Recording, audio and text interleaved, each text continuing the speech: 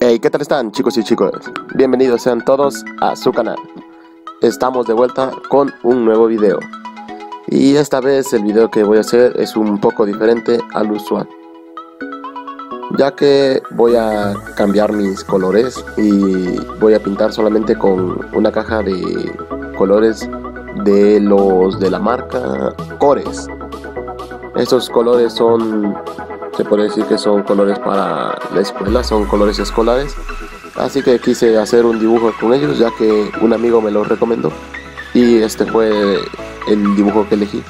Es un dibujo random, así que no sé si alguno de ustedes lo conozca o lo haya visto en internet ya que aparece cuando pones imágenes de anime. Bueno, como siempre, comienzo con el boceto de la cara y hago los ojos, que es con lo que me guío, y pues hago unas pequeñas pautas sobre lo que va a ser el rostro y cómo va a quedar. Una vez hecho todo esto, comienzo a detallar bien los ojos y hago los mechones que recaen sobre su frente, como es que siempre lo hago.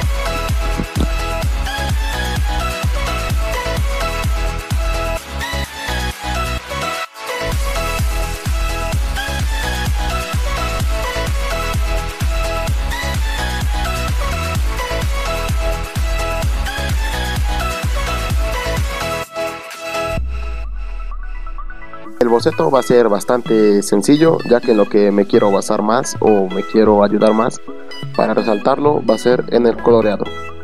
Como pueden ver, estoy trazando unas líneas sobre la cabeza, ya que va a tener puesta una sudadera y no se va a ver la demás parte del cabello. Solamente se va a ver eh, los mechones que recaen sobre su frente y algunos que caen sobre las orejas. Y eso es todo. Comenzaré a bueno, pues a bocetear la suradera como quiero. Y una vez que me guste, pues así la dejaré. Si hay algo que no me guste, pues lo tendré que cambiar.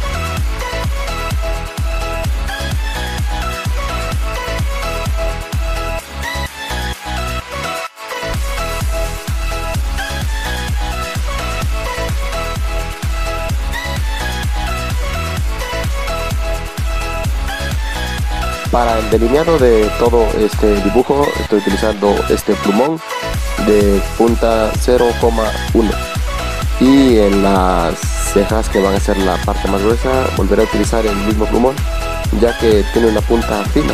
Este plumón que compré pues es doble punta así que me es de utilidad en este tipo de dibujos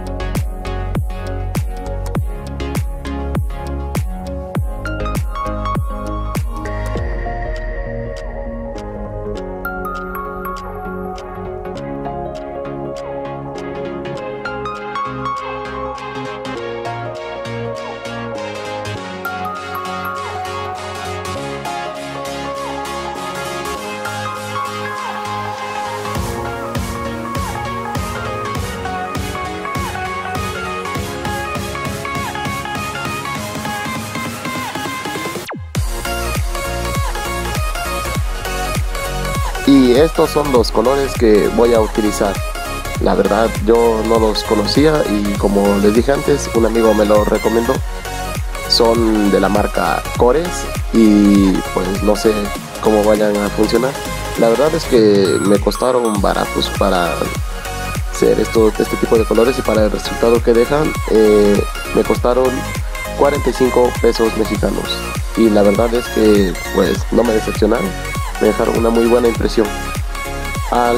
Lo primero que vi en la caja es que son 12 colores y en la parte de abajo de la caja te viene con un sacapuntas especial para que puedas sacarle punta a estos colores. La caja cuenta con 12 colores que como siempre pues son los que son un poco más comunes en este tipo de cajas de línea escolar. Contamos con un color negro, después nos viene un color morado, un color azul fuerte, color azul claro, un color verde oscuro, un color verde claro, un color plata, un color piel o tono piel, un color amarillo, un color naranja y después de esto nos viene un color rojo y un color café oscuro. La verdad es que no sé si podré dar muy bien las sombras más claras con este color ya que solamente es uno y los que utilizo yo son dos un café claro y un café oscuro. La primera impresión que me dejan es que son muy parecidos a los Faber-Castell, que son los que yo utilizo. En cuanto lo saqué, traté de compararlo con un Faber-Castell y pues, la verdad es que se parecen mucho. Ese que está ahí es un Cores y el otro es un Faber-Castell. La verdad es que no se nota mucho la diferencia, pero pues aquí estamos para comprobar. La verdad es que la punta de los cores viene muy parecida a la de los Faber-Castell, es dura y se difumina rápido. Para las sombras estoy utilizando el color café oscuro que nos trae y estoy pasándolo levemente por las partes más oscuras de la cara. Simplemente estoy dando pequeñas capas y dándolo de manera muy suave para que este color no se vea muy oscuro y, y bueno y este arruine nuestro dibujo. Después ocupé el color piel o color carne como dice en la caja y comencé a dar todo el tono base. La verdad es que pues el tono piel me dejó muy satisfecho. Me dejó muy satisfecho todo el resultado que dejé en la piel y pues la verdad mi punto de vista es que estos colores son muy buenos comencé haciendo la sombra que está en la, en la parte del cuello ya que la luz va a venirnos de izquierda a derecha, así que se va a generar más sombra en el lado derecho de nuestro personaje. Y de igual manera que en el rostro, simplemente comencé a hacer las sombras y pasé el tono piel por encima. Si, ve, si veía yo que necesitaba un poco más de sombra, pues tomaba yo nuevamente el color café y le daba yo más capas de color para el interior de la sudadera estoy utilizando el color plata y pues en las zonas más tenues lo estoy aplicando de manera suave y donde requiere más sombra estoy aplicando un poco más de presión. Y así es como tuve ese coloreado en el gorro que se podría decir que se ve como si fueran dos colores grises y apliqué un poco de color negro para que se viera un poco más oscuro. En las cejas utilicé el color negro y de igual manera lo utilizaré en el cabello. Comenzaré a aplicarlo sobre la parte izquierda que es donde va a generar un poco de sombra por el gorro. Pero como pueden ver no estoy coloreándolo bien, simplemente estoy dando una capa y después pasaré por encima el color azul fuerte o azul rey como ustedes lo conozcan para que se mezclen y me den este color.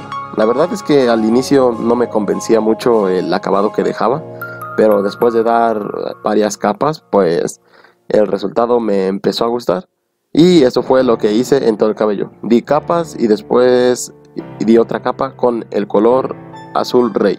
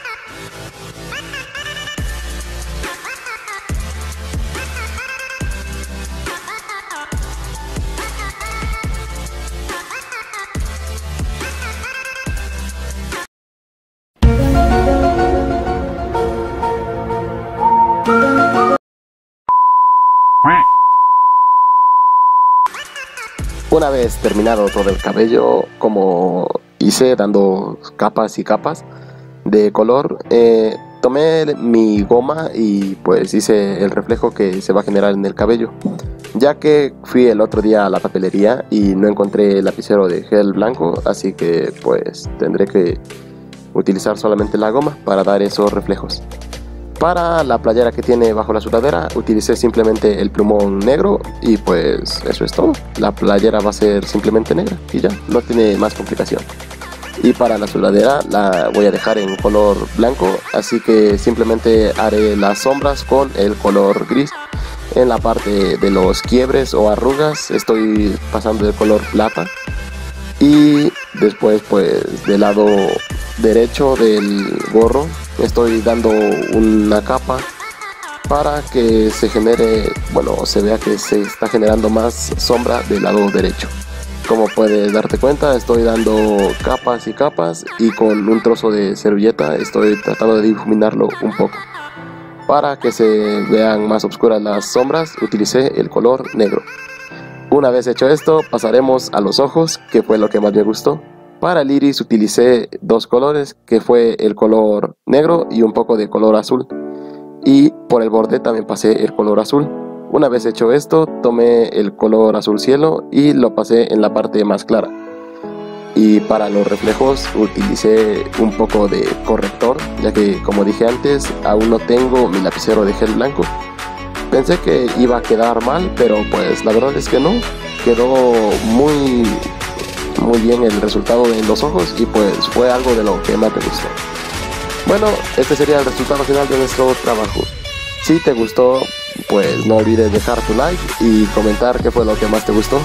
La verdad es que me apoyarías mucho para seguir pues dibujando este tipo de contenido si es que te gusta. Si es primera vez que ves uno de mis videos, y te gustó el trabajo que hago, pues no olvides suscribirte y activar la campanita, que no cuesta nada. Muchas gracias y nos vemos en la próxima. Adiós.